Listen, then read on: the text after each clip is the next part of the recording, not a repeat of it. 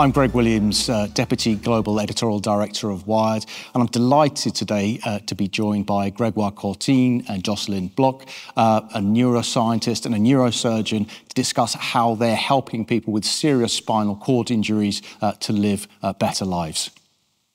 Gregoire, you're a neuroscientist. Why were spinal injuries something that you wanted to work on? Well, I've always been passionate about movement, being a sport elite. And uh, this is why I study how the brain control movement. And through this research, I face many individuals with spinal cord injury, often young male who had like sport accidents, which really compelled me to launch my career focusing on developing solutions to help people recover after spinal cord injury. Jocelyne, you're coming from a very different perspective. You're a neurosurgeon. Um, for you, why is this something that you particularly want to work on? You know, I studied medicine and I learned that after a spinal cord injury, people have to get used to this and they will stay the whole life in a wheelchair. And I've seen so many young people who from one day to the other have this, you know, destiny that changes completely. And I thought that having the possibility to change this paradigm would be fantastic. What are the typical sort of impacts of a sort of serious spinal cord injury? So these people have an accident, they come to the emergency, they, they can talk, they, they, are, they do, did never, they never lost consciousness, but they cannot move the arm and legs, you know. And the consequence is that they are sent to rehabilitation. It lasts in general a few months, mm. and then there is nothing else to do. And Greg, Gregoire, your solution involves the use of an implant. Can you just describe where that implant is situated and how you sort of undergo the procedure? Well, the idea is that to walk, the brain needs to send a command to the region of the spinal cord that control leg movement. And when there is a spinal cord injury, this communication is interrupted. And the consequence, as Jocelyne said, is paralysis.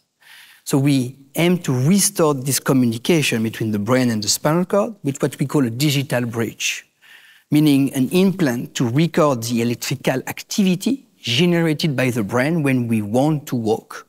So there's just so I understand, there's there's two implants. There's one sort of near the brain, and then one actually on the spine itself. That's true. So we have two different surgeries. A first surgery at the level of the brain. So we open the skin, perform what we call a small craniotomy. It's remove a bit of bone, and we replace this hole by this implant, 64 electrodes that cover this brain region that controls movements. And then we close the skin. So that's the first surgery. And the second surgery is to implant electrodes over the dorsal aspect, so the posterior part of the spinal cord, also controlling leg movements. The electrodes are then linked and connected to what we call a neurostimulator. It's a little pacemaker that is delivering electrical impulses to the spinal cord in order to activate the different muscles. And what are the challenges that you face as a surgeon around that procedure? So the ch challenges are the precision. That's what I like to say. It's very close to the to the watchmakers in Switzerland. Yeah. So we need to be super precise because we need to be able to reach and to target each muscle. And Greg, well, what are the technological sort of challenges that you're facing in terms of the, uh, the, the, work that you're doing? Yeah, the, the beauty actually of this digital bridge is the apparent simplicity when the person walks again and you don't even understand what's happening. Then there is an AI, imagine like brain GPT, decoding this electrical signal, which is the language of the brain, to understand what the person wants to achieve. And then this AI deliver wirelessly the information to the pacemaker.